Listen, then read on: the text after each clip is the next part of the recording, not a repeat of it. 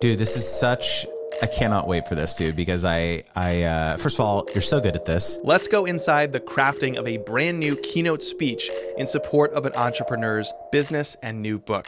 Let me try this on for size. The, the looming question is so, what is the speech? What is the keynote? What gets you on the main stage? What gets you referral business? Uh, let, me, let me verbalize some of the uh, friction I'm feeling. And that's like part of the genius of the story is it opens people up to a new possibility, clears away existing head trash, and behind it, your IP can come in. Dude, that's so brilliant. That's hunt that's brilliant. Yep.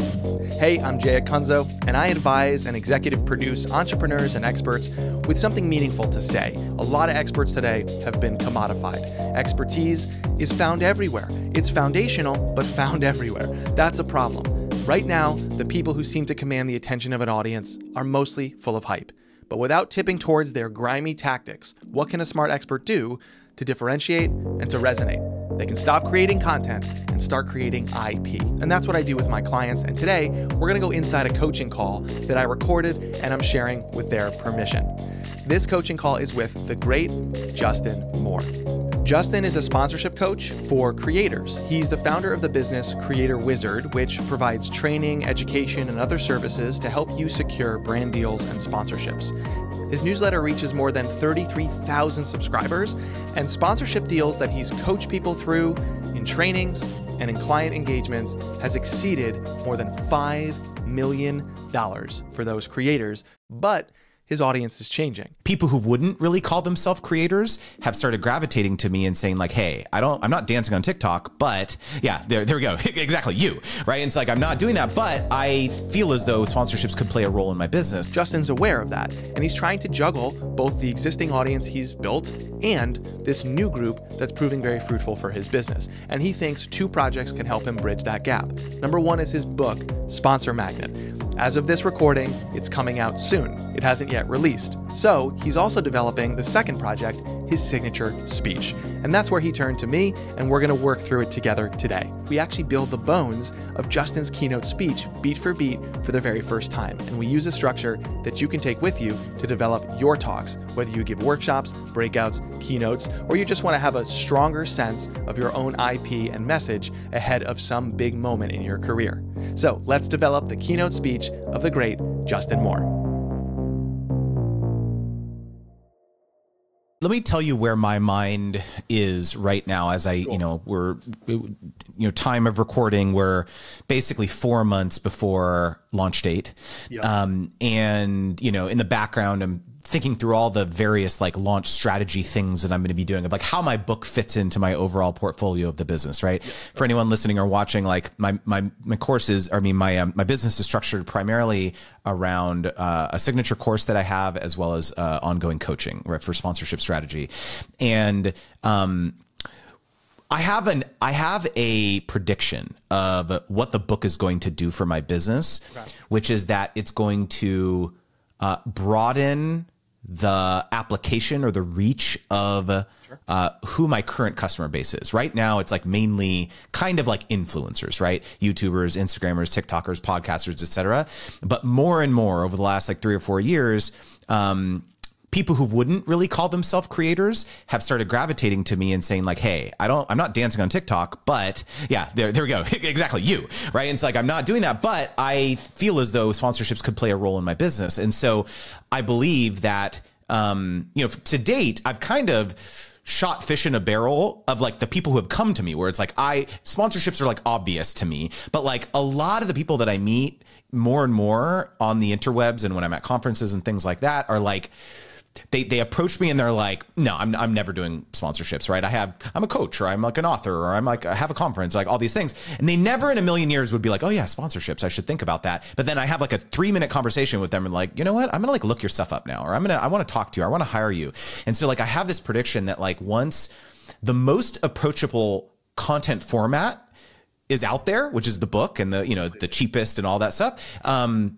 my business might look a lot different in like three to five years. And so the reason why I'm excited to talk with you today is like all the talks that I've done, I've been paid to talk and I've, I've done a lot of talks, hundreds of talks over the last couple of years. But like, um, I feel as though what my signature talk should be is the most approachable version of my of my material yeah. and i just i just don't think i have done that yet Right. Uh, okay. So a couple things. One, I just interviewed Seth Godin for the show.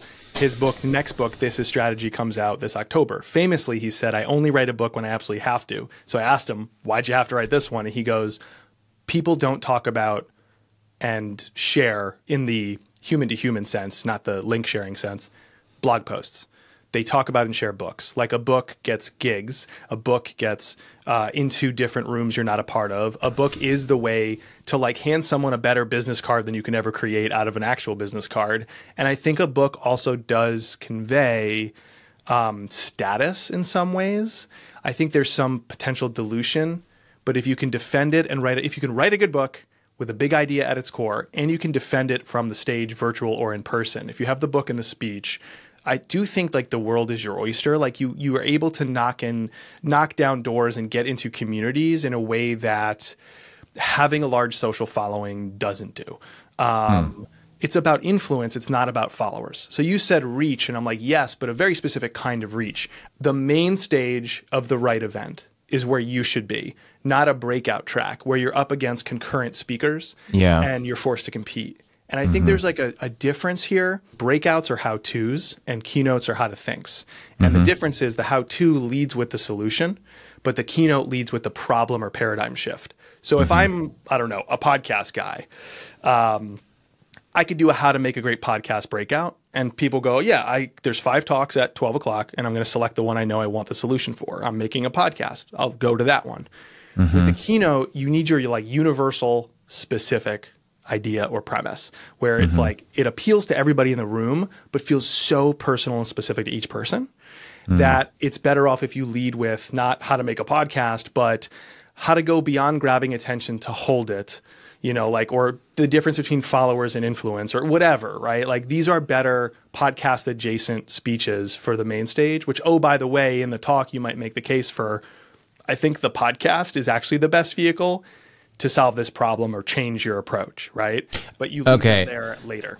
I have, sense? I have, it does make sense. And I was thinking about this while you were talking about what it is for me in the book. And I think, let me, let me, let me try this on for size. Yeah. Um, I have one of the primary objections that I overcome in the introduction of the book is, can I just hire someone to do this for me? I think that this is like a pretty universal stuff around, uh, especially around uh, amongst creatives, where it's like they want to just like play with the creative stuff all day long. Yeah. They want to create create the thing.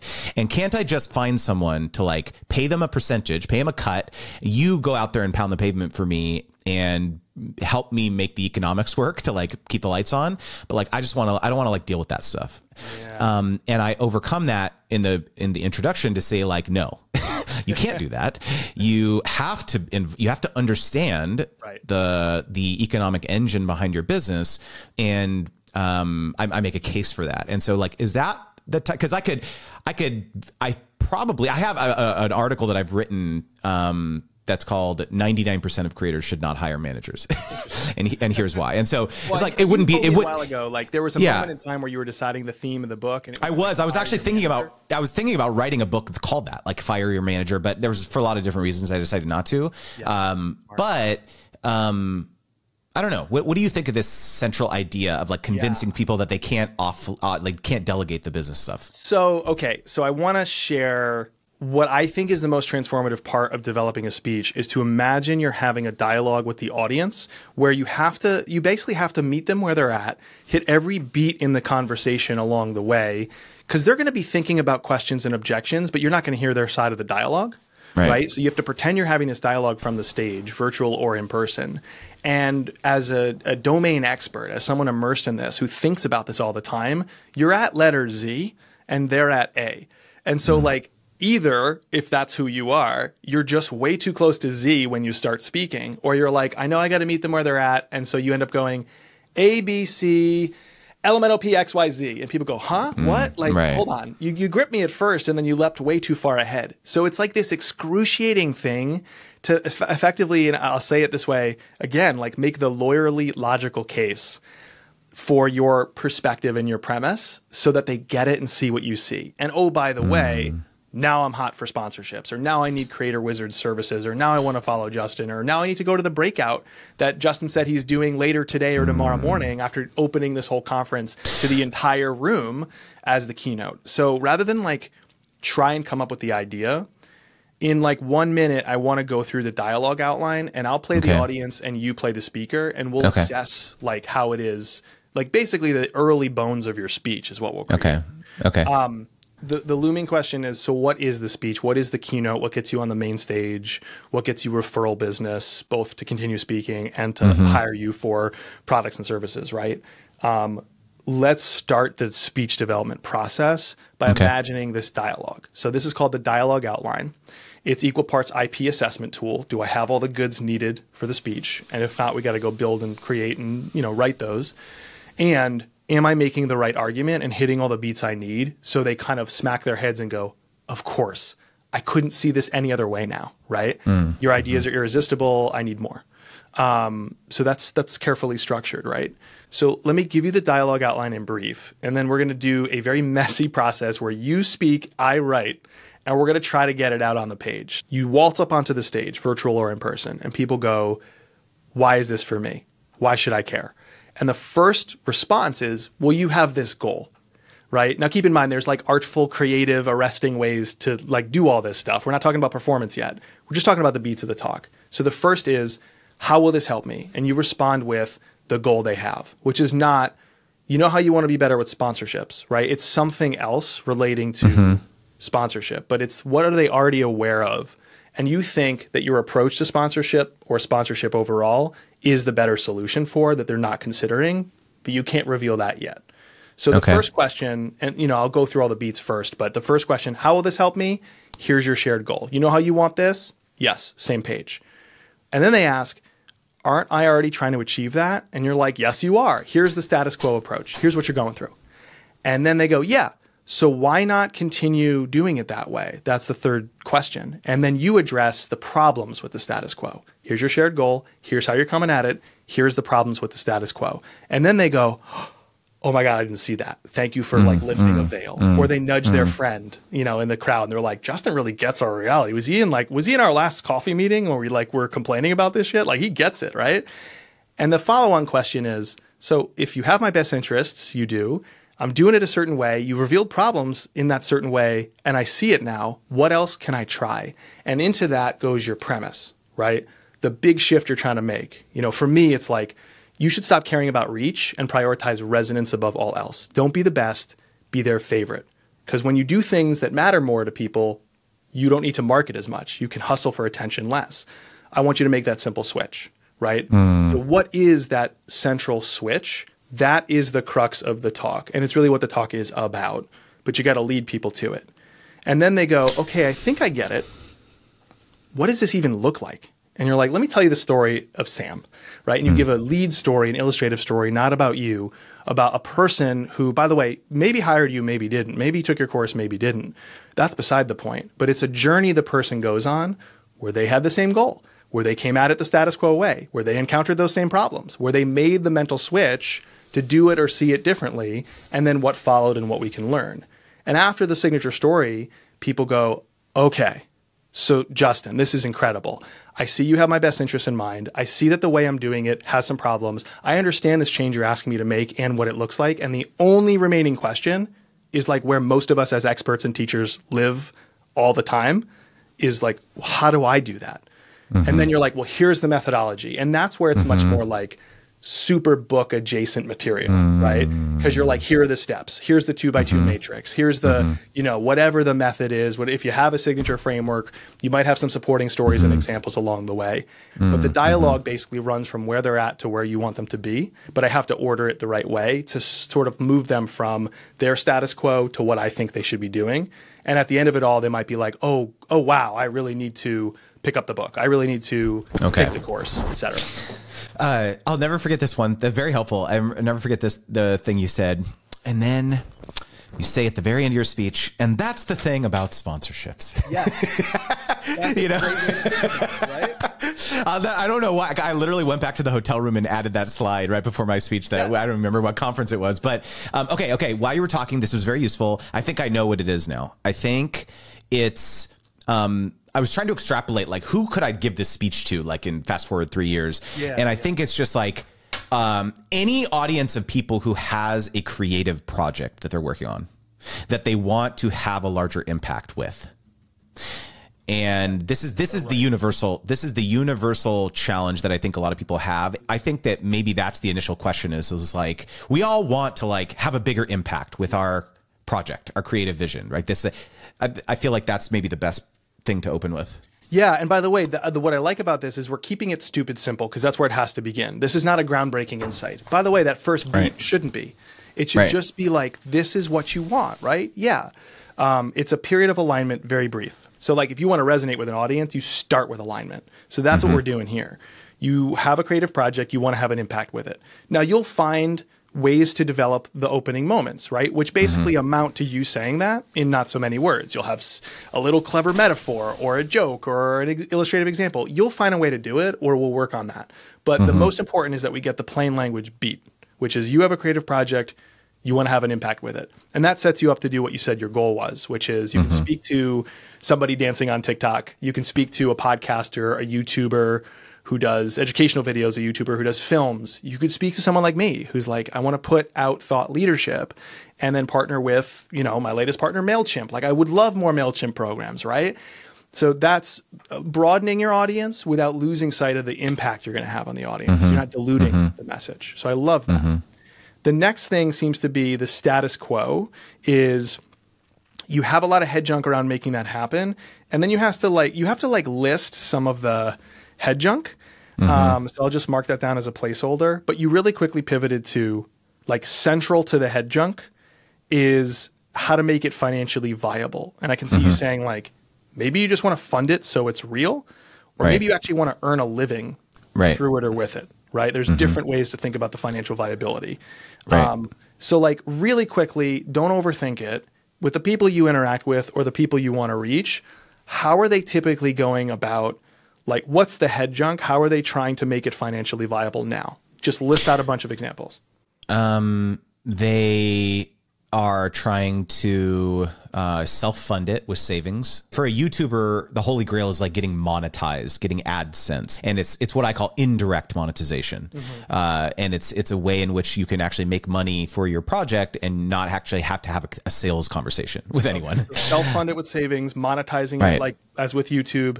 Um, I'm going to throw up maybe crowdsourcing it, like you have an mm-hmm. audience. Yep. It's like a Kickstarter esque right. way, like right. little tiny donations, uh, digital panhandling, if you will. Mm-hmm. Mm-hmm. Okay. Yeah, I mean, so there's there's all the, there's all the way. I mean, there, there's a lot of ways. There's affiliate revenue where you could put like links, you know, adjacent to the post that you know people can click on. Um, you know, merchandise. You know, whether it's like actual, you know shirts, t-shirt, mugs, or digital products, you know, uh, courses, uh, coaching, things like that. Um, uh, as you mentioned, patronage, um, membership products. Uh, Services um, is a um, big one, right? There's a lot of people right. you speak to. I'm probably one of them. Services, right? That's another big thing. So, one one other big one other big thing is that there is a and maybe this comes at the end of the listing of the status quo, but like sponsorships is distasteful for a lot of people. They look at it as something that they either either if they're currently doing it, it's like a thing that you just kind of have to do to keep the lights on. Virtually anyone who is in a sponsorship has had at least one experience where it was like not great with the sponsor, and so yep. they have this like impression that like I just would prefer not to do that so that's that's a wonderful point. I think that comes later. I think it comes in. You're going to acknowledge it after you reveal that you believe in sponsorships. Okay, okay. You're going to frame it better because it's not just what's the big switch sponsorships. It's mm. what's the big switch, and this is going to be a crude approximation of your thinking. It's see all the ways you're trying to make that financially viable. You're trying to do that in either indirect fashion or you're like trying to do it solo. Like the rogue genius is a myth. The rogue successful thinker is a myth. You have to combine powers with others. Growing your audience is better when you collaborate. YouTubers mm-hmm. get this, authors get this, they appear on mm-hmm. podcasts, right? Mm-hmm. This is mm-hmm. better when you think about monetization too. I want you to take yeah. a partnership mentality to everything you do, right? Like that's a framing device, not mm-hmm. saying it's the one you say, that allows you to, to then enter into the sponsorship beats of the speech Got it. with it. less head trash in their way because they're like, oh, I know mm. you're saying sponsorship, but the way you framed it up for me means it's a kind of sponsorship or an approach mm, to it. Mm, partnership, you know? yeah. And then okay. you can acknowledge, if you want to, the objection. Got it. Got it. Okay. Um, all right, so we're going to go back up real quick. Let's retrace the beats briefly. So you have a creative project, you want to have an impact with it to do that, you know, you have a lot of head junk to sort through about making it happen. And maybe you this, maybe you that, maybe you that. I think central to that head junk for all of us is how do we even make this like financially viable? How do we fund it? Maybe you want to fund mm-hmm. it at cost. You just want it to exist. Maybe you want it to be a source of income. You want to earn a livelihood for yourself, maybe others. And here are some ways that you're probably doing that. You know, a lot of people self-fund it. It looks like that. You're monetizing on YouTube, AdSense, indirect monetization, crowdsourcing, patronage. You're selling physical products through it, like merch. You're selling digital products like courses. You're selling services, which by the way pull you away from doing the thing. And now you're just doing the services. You're not actually making the thing happen. Like you're able to start agitating some of the pain even before the dedicated section to do that. Here's the missing piece a lot of people make. They're just like, and this sucks, right? You know? Okay. Let's play doctor all of the things I just mentioned to you are symptoms. You're the doctor. Diagnose the illness. Why are all those things what I turn to, either first or exclusively? Um, yes, maybe before sponsorships seems viable or preferable, or just in general. Like I'll give you an example: is I agitate when I acknowledge the status quo of a content creator or a thought leader. I'm like, and what are you doing? I have a chaos rant to illuminate the status quo and the problems. And I'm like, you're posting on LinkedIn at 9 a.m. because Shopify released a, port, a report that said 9 a.m. was the best time. But now that that's out there, that's no longer the best time. But you don't have time to do anything different because you're also on Facebook, you're also on Instagram. Mm. I kind of, it, I approximate what I eventually reveal to you is you on the hamster wheel, right? And you're just trying to outshout everybody else who's stuck in this commodity cage. So what I'm trying to do is say, here are the symptoms, and it looks like you doing marketing. The illness is you're a commodity. That's the reason you're doing this exhausting work or shouting or getting aggressive. 99% do it wrong, right? Is because you're a commodity thinker. You don't have IP. That's what we need is you have to have higher impact thoughts and ideas that you develop proactively. But to, that's my uh, diagnosis of the illness, right? But I start with the symptoms. So you have the symptoms, diagnose the illness. Why am I doing all these things? I'm not sure if this is the exact one, but I do think it's because you have no one to turn to to ask which is the right one. I, I just I, I, I harken back to how lonely it was for us coming up as creators. We had no one that in our life, friends, family, no one we could ask and be like, hey, of the six monetization avenues that we could take to like take, you know bring our creative project to life, which one do you think we should do? I don't know. I, that in in my in my head, I don't. I also want to put put this bug in your ear that, um, I have one of the largest uh, media uh, company nonprofit media organizations in Northern California in my course right now. Mm. They're d- director of digital content joined because they want to get sponsorships for their media organization. And so more the more people that I start to work with, it, it's like my mind starts stretching of like how is this applicable to yeah. a company like that versus like a TikToker, you know? That's and great. so as useful as I'm as I'm like thinking about your question, like what is the what is the answer for that that director of digital right content of like why why do they have the status quo? You know? Yeah, yeah all right, I still want to figure this out because there's such power in saying you think the problem is this, but actually the problem is this, right? So, like an example that's crude and rough and maybe not relevant to you, but try it on for size here. You think the problem is how to monetize it, and that causes you to do all these things that are solely dependent on you, right? So, because you're doing this indirect and isolating approach to monetization. So, that's actually the problem. It's not like, how do I monetize it? It's how do I shift from having a roguish mentality to a partnership mentality? Like, mm. again, that's not, that's clunky, not that brilliant, right? Because it's coming from me, not you. But that's like what I'm going for is like, you think the problem is this, but actually, it's this. That makes you a leader in their mind uh, not just someone who's like got another checklist oh that's that's that's 100% it because it's like it, it, that can be applied to any type of person who has a creative project whether you're a solo creator or a corporation is like you're making decisions in a vacuum. You i could i could you know seg by talking about all these examples and if any of you have ever collaborated with everyone anyone you know if you go on someone's show or you collaborate on youtube or you you know hire a consultant for your company to ask what they think is the best pathway to make this, this decision, you know that getting new data will help you make better decisions. Right. You know about about so it's something like that. And I can see you saying something like harkening back to the goal. because the goal is creative excellence, funding this project, having an impact with it. Impact, like, right. You're not going to talk about monetization sponsorships yet. You're like, creative excellence is never achieved alone. Like, this is true of the projects we're trying to put out there. Look, comedians in the small comedy clubs swapping notes, podcasters, this, that, the other thing, authors, TikTokers, YouTubers, like, the excellence and success and traction, the impact of your projects is never achieved alone. And I am here to propose that the funding, the monetization, the ability to thrive financially is also never achieved alone. And there's this weird limiting belief where we kind of sort of embrace that the first is true. The project itself needs to be imbued with perspectives and other people's platforms and collaborations. And then all of a sudden we like drop that mentality when we're like, how do I make money on this thing? Right? Mm. I'm asking you to carry it forward.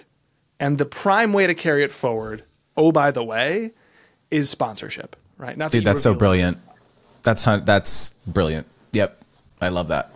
That's by the way, that is your thinking. I'm just trying to like put it in order. You know what I mean? Yeah, like yeah, I'm yeah. trying to synthesize and shave the clay that you just put on the table. So like mm-hmm. let's say that was it and let's finish off the dialogue outline. So like the problems with the status quo we've sort of touched on. It's spaghetti on the wall, you're doing it alone, um, it's isolating, it's you're making decisions in a vacuum, etc. The big change, the premise is um, like monetization. I'll write it down in knee jerk fashion and you massage the right way to say mm-hmm. it, but like monetization should also be approached with this partnership, collaborative mindset, just placeholder, right? Yep. Like that's that's the big shift for people. Right. Yep. Behind that they're asking, what do you mean to fund the project? I should take that collaborative or partnership approach. Do you mm. have like a signature story of someone who tried the in a vacuum approach and then made the switch? Is there do you have someone that can retrace essentially the beats of the story match the beats of the talk so far? I believe I do. Um, his name is Paul Jameson. He's a podcaster who teaches lawn care professionals how to grow their business. Awesome. And um, he started out as a he had a lawn care business, and he was you know mowing lawns and doing all this, um, and uh, decided to start a podcast talking about how he was growing his business you know in terms of how do you get more customers on a single street and how do you maximize you know uh, like labor cost you know how, how do you um you know optimize labor costs and all, all this stuff right um and um, so there's definitely a lot in that story that I think mirrors. Yeah. Um, so now you just need to hit the beats, like yeah. There, and there's like a you want you don't you don't necessarily want the audience to see the seams of this, but when you develop right. that story, you're just retracing the beats that you had lined up in the talk so far. And by the way, what I'm really excited for is when you these are the this is the skeleton. When you put meat on the bones of each of these yeah. section, you shine. You get clever. You have metaphors. You have jokes. All the stuff. Right. This is not yeah. just bland copy like we're putting it down. It's just we're getting the beats. So with yeah. the story, let's do the same thing. So uh, let me show you what this looks like, folks in the crowd. Mm-hmm. This is Paul Jameson. He's a lawn care expert. He had a lawn care business. He was selling services. He wanted to start a podcast. He wanted to have an impact with that podcast. Then what I need is the next beat is show me how he collaborated or took a partnership mentality to strengthening the project side of it. Mm-hmm. He saw value in talking to guests. As yes. a podcaster, he saw value in guesting on other shows to grow his yep. own. As a yep. podcaster, he saw uh, yes, totally. You know, all, so got it, got it. Okay, right? got it, got it, got it. So, so the collaborative thing, yes. Examples of collaborative thinking. Ooh, that's yep, um, yep. I love that phrase of collaborative thinking mm-hmm. to strengthen his creative ideas or the podcast directly right? And I agree. Yep. We're so good at that usually. We're like, mm-hmm. I got to work out this material. Like, yep. people send their drafts of books around. People like, you know, like the comedian example comes back. Yep. We're like, does this make sense, friend? Right. You're a comedian. Mm-hmm. Right. Mm-hmm. Like we do that all the time to strengthen our ideas. We do it all the time to strengthen the projects themselves. Then we like drop that mentality when it comes to monetization and it's bananas. It makes no mm-hmm. sense. Mm-hmm. Right. And once you illuminate that, they go, how could I see it any other way? Right. So he went through the same thing. His ideas, and his podcast directly, got better. And then what you want to show is all right, beats here. It all fell apart when he dropped that mentality to try and monetize it. Mm-hmm. And you have to show that. And at the end, what I want to know is like, uh, was there one moment or a series of moments where he finally took a collaborative what did you call it Think, collaborative thinking. thinking yeah where he finally took collaborative thinking to the monetization aspects. Mm-hmm. like what made him made this make the switch? What happened after?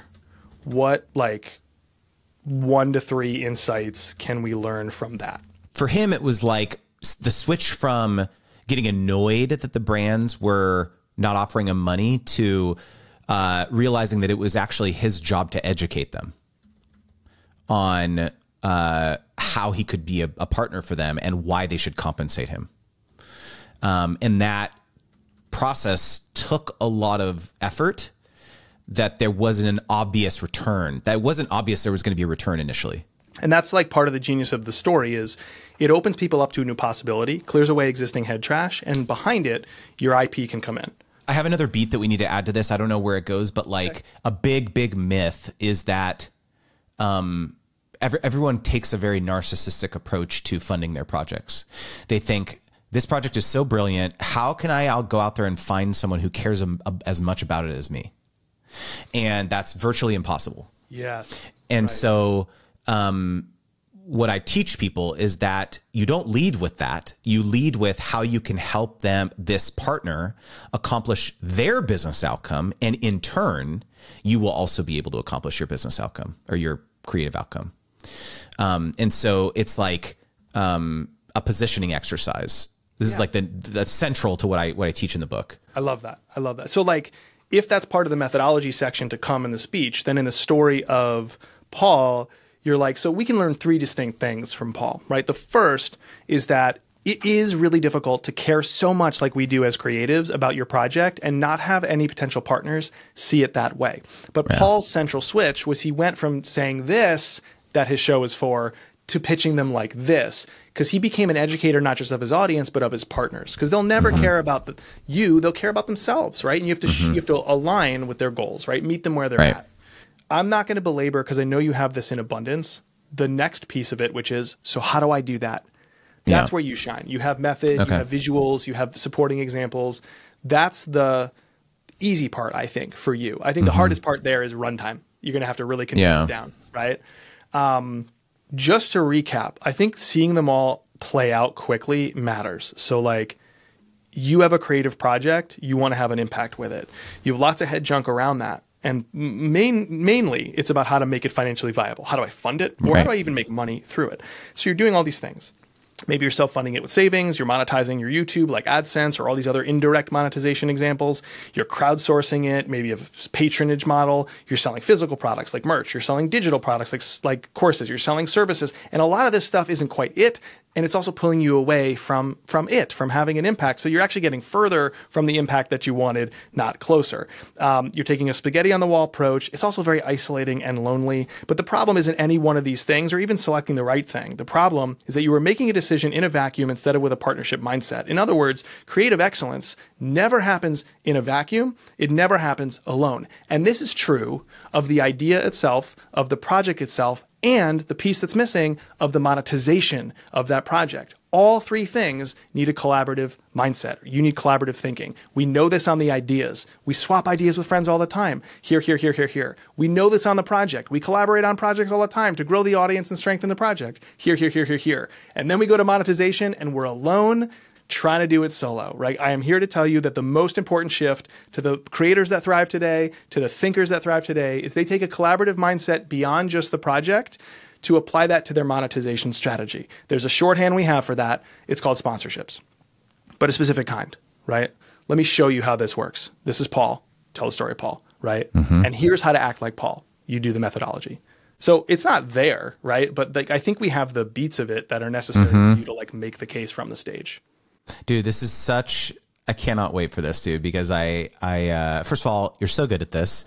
Uh, because last anecdote, which I think is actually interesting, which is that I kind of did the whole my my initial webinar to try to convert people to like join my course or do coaching or whatever was like here's my entire methodology steps 1 through 8 I'm going to belabor the I'm going to go through the the whole thing sure. and like a lot of people um, I just came into it assuming like, yeah, you, you love sponsorships, right? Like, like, of course, everyone loves sponsorships, right? And I did not do much like, of the stuff we just talked about, where it's just like, okay, let's yeah. let's meet them where they are. Right. Um, and this has been one of my central challenges, honestly, of like speaking to a broader audience because I'm so fixated on only speaking to the people who care about sponsorships today. So this was right. so useful because I'm so uh, I'm I'm really optimistic that designing more collateral, speaking yeah. collateral like yeah. this will have a larger impact for me. Like this is very meta, right? But like here, I'm I'm thinking of you I, this takes some explaining, so bear with me. You're not the sponsorship guy. You're the collaborative thinking guy in a way. So here, here's what I mean by that. There's there's a software company called Wistia. They do video marketing software, mm-hmm. right? Early on, they would market their message and their mission, not their product. They want to make business more human, right? The CEO, Chris Savage, would admit, and we solve 5% of that problem. We want to make business more human. We're video software. We solve 5% of it relating to video. But we can go and collaborate, something you love, with Buffer, right? With a social media marketing tool who also approaches the work to make business more human. And then we can do something collaborative to grow our joint cause because we see the world the same way. It's the same for you. It's like you are, you want creators, creatives, thinkers, media companies who, yeah, eventually you want to show them why sponsorships matter, but more to the point, you want them to take this collaborative thinking that has served them so well when they think about the creativity aspect and apply that to the business and the financial aspect, to the revenue aspect, right? And oh, by the way, you solve X percent of that because your specialty is sponsorships. But I guarantee you, there's other ways to take a collaborative approach to monetization and to your business, right? And there might be a specialist out there for that. They're now a co marketing partner of yours, they're now a good mm-hmm. collaborator of yours. So I don't want you to only get picked for the stage or the podcast because you're the sponsorship guy, because that's the person that they scroll past in the feed if they don't care about sponsorships mm-hmm. right now, which you're saying right. a lot of people don't yet. Yep. Or you get planted on the one of 10 speaking at 12 o'clock, right? And you yeah. get you get relevant people, don't get me wrong. That's why having the keynote is it's easy to bundle it with now I'm going to take you into the methodology I showed you really in depth. That's the breakout, right? Mm. So that's maybe the webinar that you have where you're yeah. you already care about sponsorships. Now you're ready for the digital webinar. Now you're ready for the in-person breakout that I will deliver, but you're able to lead them there where it's like, "Oh, inescapably, I'd want that now." That's so uh yeah, and oh man, this is gonna be so good because I do the keynote and then in the breakout, what I ultimately realized was that my webinar should not go across all eight steps. My new webinar is I just focus on step one, which is pitching. And then I go really, really in depth on pitching in the breakout. And people are like, okay, this is great. You've convinced me now. What now? And I'm like, okay, take the course or hire us for coaching. Take it a step further back. They're not yet in your market. They're close to being in your market, meaning they care about sponsorships. Right. They're like on the periphery. This is akin to somebody who really wants to be a good storyteller or mm. wants to differentiate their message or business. Um, those people are somewhat in my market, but not fully because I need mm. them to care about my version of this, which is premise right. development, IP development, and the speaking and podcasting and evangelist that make you a thought leader behind it. Late in the speech, I say, oh, by the way, like this is the central shift we're making. Don't create content, create IP. Here's the thought leader's IP pyramid. Here are the layers.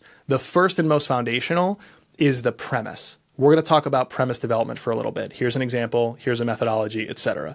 Right? And I build the whole pyramid at the end of it, but I'm not going in depth to all the layers. I'm just going mm. a little in depth. So I think that's what you're saying. It's like the yeah, first yeah. thing I need is what are the prompts or what's the heuristic or framework to make me a collaborative thinker for the monetization element? Right? It's like I don't know what it is. It's like the first thing is you have to learn to pitch your idea through their goals right? Yes, exactly. That That's exactly what it is. Yeah. yeah. And you, wait, I know right. your work, so this isn't that hard. yeah. Like, and you're like, okay, you do this as a podcast guest. You pitch, mm-hmm. you know, what's a bad pitch? I'm awesome. Feature me. What's a good pitch? Justin, I know your show seeks to do this. I haven't seen you feature somebody like this, but I think it's very relevant to that mission of your show. Here's why my story maps to that, right? You start with them. Now switch switch to monetization. Here's how you do that, right? So just keep in mind the central mm-hmm, switch of the, the parallel is okay, not okay. go do sponsorships. Right. The central switch is I can take the same collaborative thinking that has served me well creatively and do it in the like monetization realm. Mm-hmm. Right. So you got to give me those mm-hmm. tools, which by the way might lead you to pitch, right? That's the first yeah. thing. Right. Right. Man, so it's so good. A little higher up on the buyer's journey. Okay, uh, I want to give you a compliment because this is giving me a bunch of ideas for just like content, like YouTube, I, YouTube yes. videos I could I could film because like Yes. I've been this has been a big block for me. Is like I don't I really struggle knowing. Uh, I didn't want to be that guy and like here's ten ways to make ten thousand dollars a month as a creator, and like one of them is sponsorships or something. Yeah, but right. like this feels like a much broader canvas to speak to this whole issue around collaborative thinking and why there's a block for people to transition. So, Right. Thank you, thank you very much. You're this is. I'm By the way, excited. I'm excited like for this. Yeah. I'm so excited for your speech. I am almost more excited for just using this dialogue outline and the speech as, again, IP assessment. Like, what are all the pieces? Do you have them?